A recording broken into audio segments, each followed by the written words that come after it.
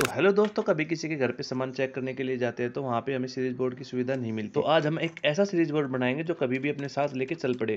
तो इसके लिए हमें एक मेल फीमेल एक होल्डर की ज़रूरत पड़ेगी। और इसके अलावा हमें आठ आठ इंच के तीन वायर के टुकड़े की भी ज़रूरत पड़ेगी। तो सबसे पहले हम पहला टुकड़ा छीलेंगे और उसको हम जो हमारा टू पिन टॉप है, उसके एक सिरे पर कस लेंगे। देखिए कुछ इस तरीके से। ये कसने के बाद इसका जो दूसरा सिरा है, वो एक होल्डर के ऊपर लगा लेंगे कुछ इस तरीके से। इसके बाद होल्डर से दूसरा वायर लेंगे और उसको बाहर निकाल लेंगे। अब हमारा होल्डर का कनेक्शन कंप्लीट हो चुका है तो होल्डर को कस अब हमारा इसे कसने के बाद हमारी दो वायर कंप्लीट हो चुकी है। हम एक और तीसरा वायर लेंगे और उसको टू पिन टॉप की दूसरी साइड पे लगा के टू पिन टॉप को भी कस लेंगे। अब जो आखिरी के दो वायर बचे वो हमारे फीमेल के बचे। देखिए दोस्तों फीमेल के जो दो पॉइंट है उनके ऊपर ये वायर कस के कनेक्शन करने के बाद हम अपना फीमेल सॉकेट को कस लेंगे और इसके कनेक्शन हो चुके हैं। अब ये कंप्लीट भी ऑलमोस्ट हो चुका है। जो आखिरी में तार वगैरह खिंड रहे थे उनको टेप की मदद से एक कर लेंगे। देखिए और ये हमारा जो है कनेक्शन बन के बिल्कुल पूरा तैयार हो चुका है।